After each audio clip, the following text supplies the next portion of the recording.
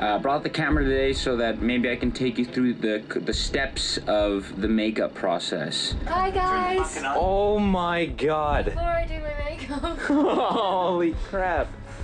That's awesome. You look like Gandalf. All right. Step number one in the makeup process is to. What's this? What are you doing? What's that about? A little neck shavage.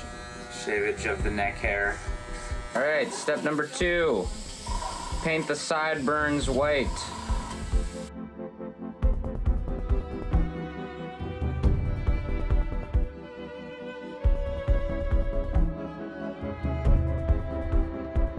Got the eyes. Uh, I got the new skin. Skin is just white everywhere. Pretty crazy.